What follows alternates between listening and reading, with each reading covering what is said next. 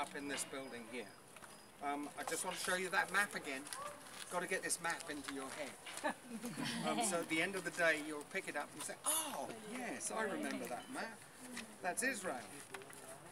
Um, so here we are. You see the green parts that I've put here? Yeah. That's the mountain areas. This is Samaria. There's Jerusalem in the middle. And this is Judah. Well, we're now right in the middle of Judah at Hebron. And we've come down the Patriarch's Road. This is the Patriarch's Road. It comes all the way from the top and it goes down the middle of the Samarian mountains, Jerusalem, Bethlehem, Hebron to Beersheba down here. Um, so we've got Hebron here. Okay?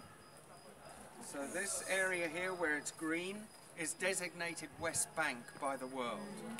Um, Gaza is over here. Um, and this area here is the Golan Heights, which used to be Syria, but since 1967, Israel. Yes. You guys love Israel. Yes! You don't know? Okay, so I've got one more thing to do because I don't want you to miss out. Um, Hebron, 58. You're probably going to buy this book, aren't you? Yes. So it says that we're in Judah. And once again, we go to Joshua 15 and it gives you the borders um, in verses um, 54 and 7, the mention of Hebron in the allotment for Judah. Um, we also read in Genesis 37 that in Hebron, Joseph had a dream.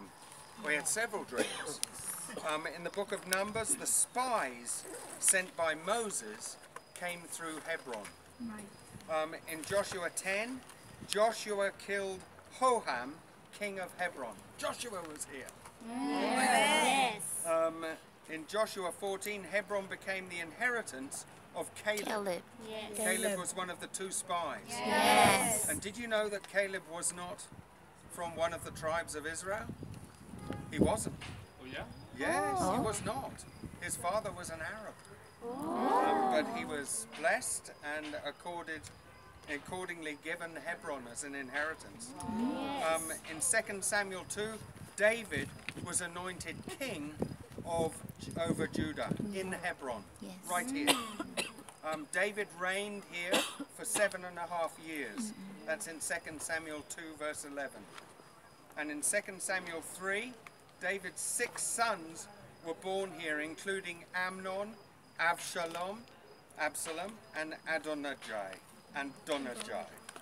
Um, David anointed king, and the revolt of Absalom stemmed from Hebron. Okay, so we're going to go inside, and I'll show you where the tombs are. Um, you can go into the synagogues, that's not a problem.